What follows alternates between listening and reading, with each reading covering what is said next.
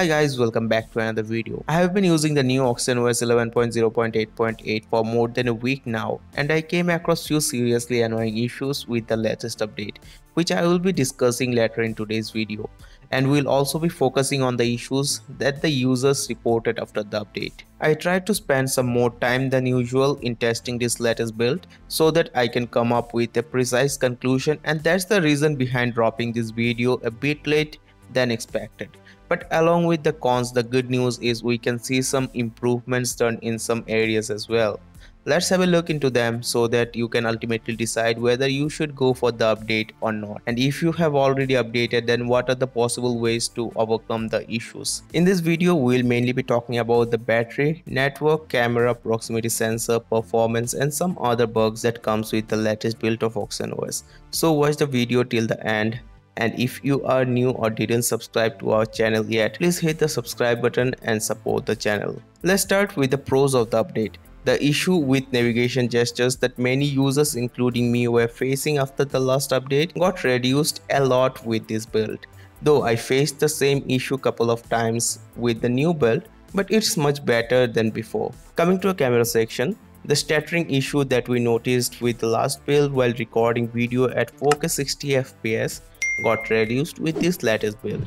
The next thing that I noticed is the image captured with the front camera are much better than before and the performance of the rear camera has also improved especially when it comes to low light photography. I did a comparison between the pics taken in a manually controlled dark environment with both new and old build that is Oxygen OS 11.0.8.8 and Oxygen OS 11.0.6.6 and the improvements in the images captured after the latest update are clearly visible.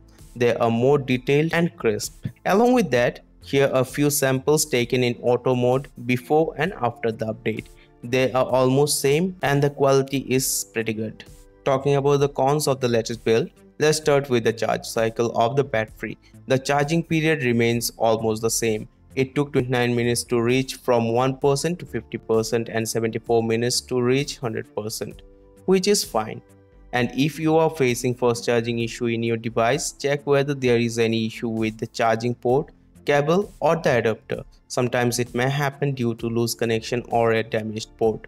Now talking about the battery life or discharge time, it depends on various factors and it will vary from user to user. And during my daily usage, after the update I found the backup time is little less than before. Since the OxygenOS 11.0.6.6 update, I started noticing the degradation in the battery backup until now it's continuing. Here are two battery discharge cycles based on my usage.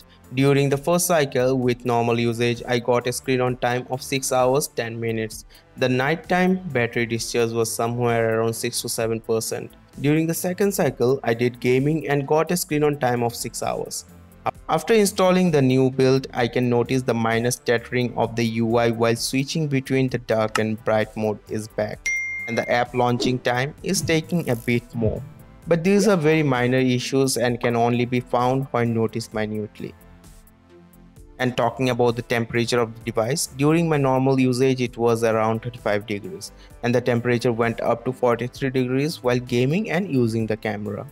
It's nothing serious as you guys know while using the camera and playing heavy games the processor is used excessively so reaching this temperature is nothing unusual and the temperature of the device also depends on the ambient temperature. While testing my device the ambient temperature was somewhere around 30 degrees. And if you are facing heating issues while charging your device or during heavy usage then check the exact temperature if the temperature is somewhere around 45 degrees, there is nothing to worry about. This is nothing abnormal. Apart from all this, few users were complaining about the Widevine security level. After the update, it's L1 in my device, but if it's not the same in your case, you have to wait for the next update. Coming to gallery application, it still needs some optimization cause no improvements in the loading time can be noticed and few users reported gallery application crash while playing long video directly from the gallery. Though this never happened to me, but in case you are facing anything as such, try clearing the cache and check whether the application is updated or not. Now talking about the two most annoying issues. First one is related to the network. Just after a few hours of installing the new build in my device, for the first time I noticed the secondary SIM card network was gone and was shown as no SIM card. I restarted the device and it got fixed but just after a while the same thing happened but this time I turned off the phone and took out the SIM tray. Placed the SIM cards in the tray properly and inserted them in the phone. Since then I didn't face any problem till now. This type of issues can happen due to multiple reasons. It may be a hardware issue or software but in case you are facing anything as such, try these steps hope it will help resolve the issue. And the last one is related to proximity sensor. Some users reported issue with the proximity sensor during long over phone conversations. In case you are facing the issue, you can check whether the sensor is working or not using some third-party applications like proximity sensor test. If it doesn't work properly, to fix this issue you can either check by cleaning the sensor area. This sometimes may even happen due to the dust or dirt or by removing the tempered glass and back cover which sometimes may cause trouble to the sensor or the last option is to reset your device which of course gonna erase all the data. After the update, I found the overall performance to be okay. Except the fact that few times while gaming for long hours I noticed some minor lagging. And of course, no traces of color OS can be found as of yet in the OnePlus 8 series device UI. So these are the pros and cons of the latest OTA update. Do let us know in the comment section what issues you are facing in your device after the update. And if you like the video, please do give it a thumbs up and hit the subscribe button so that you never miss an update. With that being said, thanks for watching the video. I'm Ikben and I'm gonna catch you in the next one.